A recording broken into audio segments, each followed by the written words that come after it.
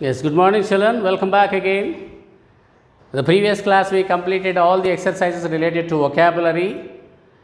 In the B reading of the fifth unit, the storied house part 2. Now in this grammar part we are going to discuss now. Grammar part. It is adverbial clauses. What are called adverbial clauses or what actually is a clause? I think you remember children, clause is a group of words which has a finite verb. A finite verb is a verb which has got the other forms of the verb. The remaining forms of the verb will be there, whereas non-finite verbs cannot function the cannot perform the functions of a regular verb.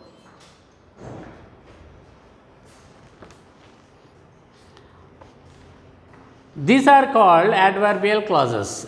Adverbial clauses in these sentences, when you look at the underlined parts, you can say that they are called subordinate clauses also.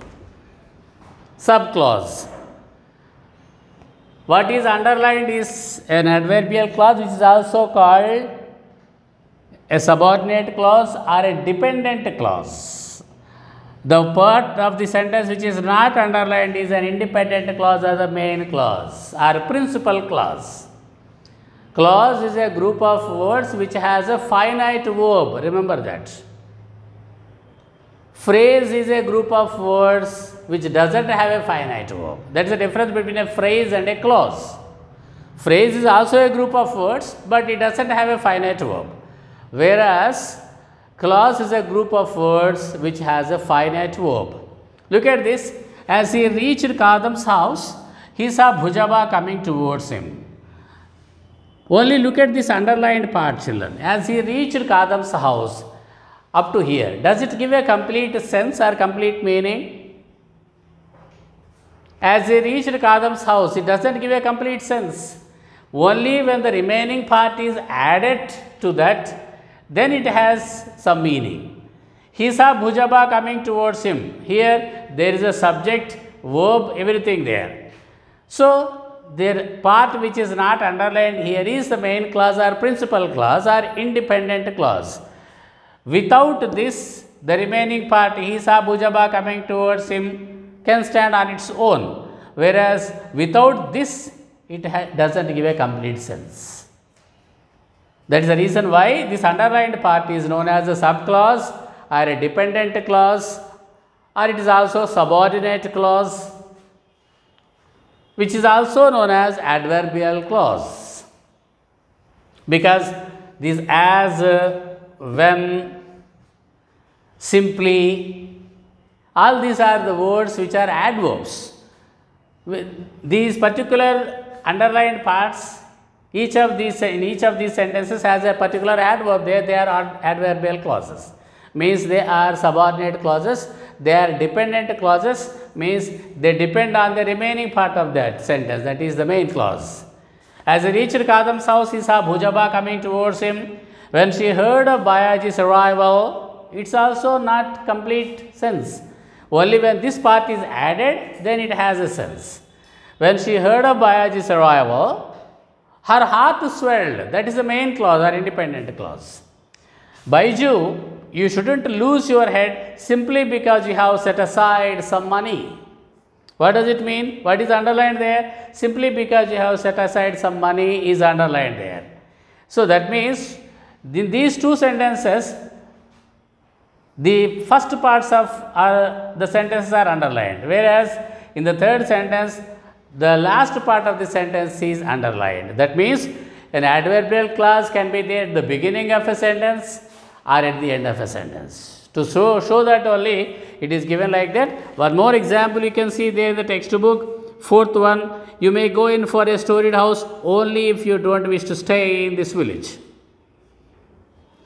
Okay, children, in all the above sentences, there are two clauses. The underlined part is the adverbial clause.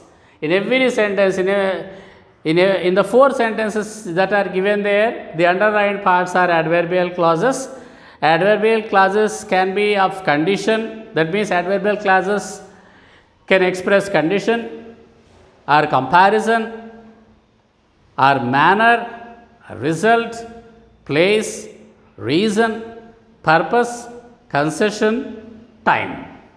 So, adverbial clauses can express any of these. They can express condition, comparison, or manner, result, place, reason, purpose, concession, time. Adverbs of time, adverbs of place, adverbs of manner, adverbs of condition. So, these are all the adverbial clauses that you can see that there. In A bit, identify the adverbial clauses in the following sentences. So, you have to underline the adverbial clauses in the following sentences like uh, it is given there in the examples. For example, as Bayaji neared Buddha Vihar, the children came running to him. So, what should be underlined there? As Bayaji neared Buddha Vihar, up to there you have to underline. That is the adverbial clause there because it depends on the remaining part of the sentence that is the children came running to him that is the main clause. Sentence number 2.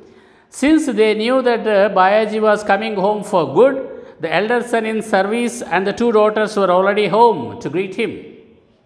So, what should be underlined there, children? What is the adverbial clause? Since they knew that Bayaji was coming home for good. That is what you have to underline. Sentence number three Bayaji was amused that his daughters thought in this childish manner even after they had children of their own. What should you underline there? Even after they had children of their own. Bayaji was amused that his daughters thought in this childish manner even after they had children of their own. So you have to underline the part even after they had children of their own. Sentence number 4 Bhujaba didn't respect Bayaji because the latter was a Maha. Because the latter was a Mahar, you have to underline there. Bhujaba didn't respect Bayaji. The latter means the second one, the second mentioned person here. Who is the second mentioned, mentioned person in this, in this series, in this sentence? First Bhujaba, second Bayaji. So, who belong to Mahar caste Bayaji? So, the latter means here the second mentioned person Bayaji. So, you have to underline because the latter was a Mahar. Sentence number 5. If you want to live happily, you must quit the idea of uh, building a storied house. So, you have to underline if you want to live happily. If you want to live happily is an adverbial clause there. The remaining is the main clause or principal clause. You must quit the idea of building a storied house. Okay, children? Sentence, uh, sorry, in the bit B, Combine the following pairs of sentences using the words given in brackets. Okay, let us see. He forgot his position as a Hindu, he turned a Buddhist. How to combine those sentences using because? So first sentence, you look at that. There are two sentences in that. He forgot his position as a Hindu, he turned a Buddhist. So where should you use? How do, how do you combine these two sentences using because? Pause. Look at that children. In bit B, we are asked to combine the sentences. He forgot his position as a Hindu, he turned a Buddhist. So that can be combined like this. He forgot his position because he turned a Buddhist. He forgot his position as a Hindu. Sentence number two, Bayaji came home, his wife felt very happy and we are asked to combine with as. As Bayaji came home, his wife felt very happy. So, what I underlined there in each of the sentences is the adverbial clause. Sentence number 3 Bayaji's children came home, Bayaji returned. Bayaji's children came home since Bayaji returned. That is the uh, adverbial clause. Sentence number 4 you may not attend the class, you don't want to come again. Suppose you don't want to come again to attend the class, this class you need not attend. It means you may not attend the class if you don't want to come again. This is what I wrote here. You may not attend the class if you don't want to come again. That is the adverbial clause. Last sentence Bayaji was about to come down the stairs, then it crumbled down in flames. So Bayaji was about to come down the stairs when it crumbled down in flames. Like that, we have tried. Of course, you can write in the reverse order also. For example, First sentence you see, because he turned a Buddhist, he forgot his position as a Hindu. Like that you can write. His wife felt very happy as Bayaji came home. This can be written in the reverse order also. You can write the adverbial clause there at the end of the sentence or at the beginning, as I told you earlier. Okay, children, with that we come to the end of the grammar part. Now, writing task is there. There are some important writing tasks. Yes, children, welcome back. Here, we are going to discuss one important discourse, minor discourse from paper 2. It will be given there preparing an invitation. You might have seen several types of invitation cards wedding invitation, housewarming ceremony invitation, school anniversary celebrations, many more such kind of invitations you might have seen. So, preparing an invitation card or designing an invitation card is one of the questions there in your second paper under the minor discourses for which there is no choice. Minor discourses there is no choice at all. Only in major discourses you have an internal choice. So, we have got uh, two major discourses also in this along with this minor discourse. One is letter writing, the other one is report writing. Both are second paper major discourses. First, let us uh, see what an invitation is, how it should be designed. Prepare an invitation on the occasion of housewarming ceremony of Bayaji's new house. Check the following indicators in your invitation. What are the indicators that you have to follow or check when you prepare the invitation? What are the important things that you find in invitation? Heading. What do you mean by heading there? What actually you are going you that, that heading is nothing but invitation. You have tried that uh, invitation, the words, the word, the letters of the word invitation. That is the heading.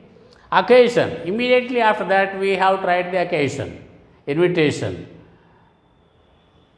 Bayaji and his family solicit your gracious presence on the occasion of the housewarming ceremony, right in big letters, because that is the occasion there.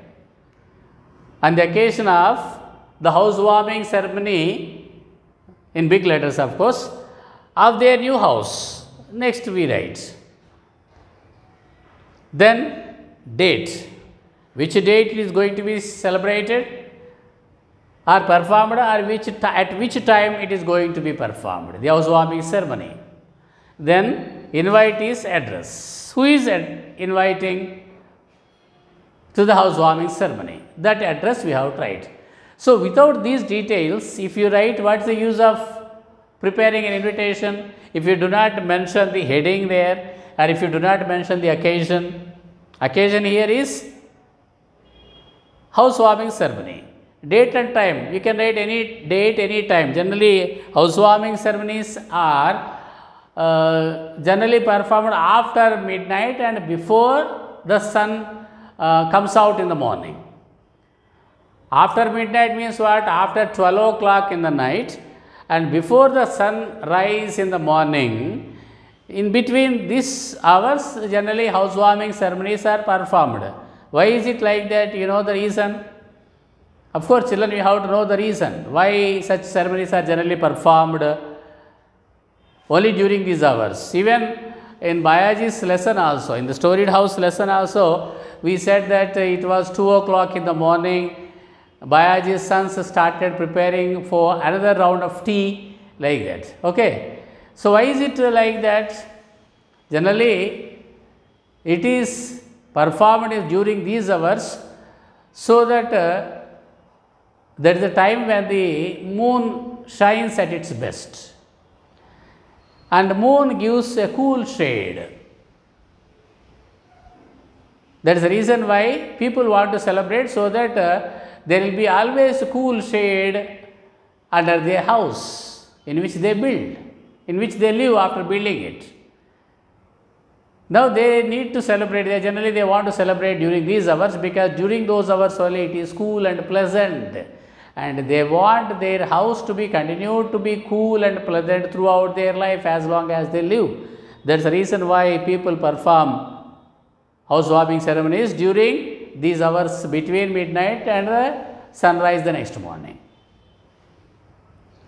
keep these things in mind and prepare an invitation card in colors. This you must be doing in colors in the, in the answer sheet and uh, the indicators, five indicators will be there and each of the indicators will be given one mark.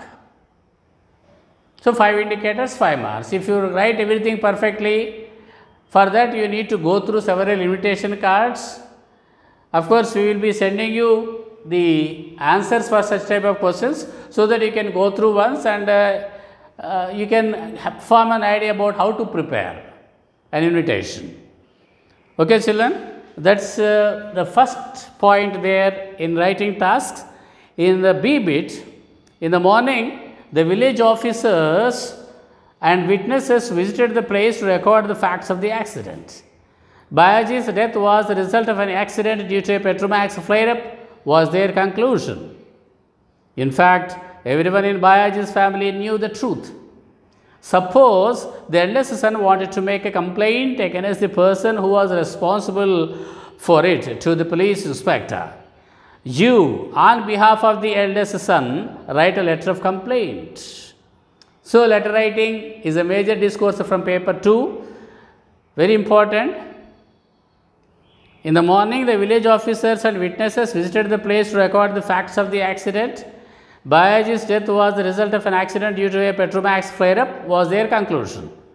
In fact, everyone in Bayaji's family knew the truth. Of course, we also know, knew the truth. Suppose the eldest son wanted to make a complaint against the person who was responsible for it to the police inspector. You, on behalf of the eldest son of Bayaji, on behalf of the eldest son of Bayaji, have write the letter of complaint to the police. Because his eldest son is busy performing the last rites of the father, you have to write the letter on behalf of him as if you are writing the letter in his name. So, that answer also will be sent to you. You can understand the way of writing a letter. Children, okay, with that we come to the end of this uh, particular bit. Uh, next uh, items will be discussed in the next class. Thank you.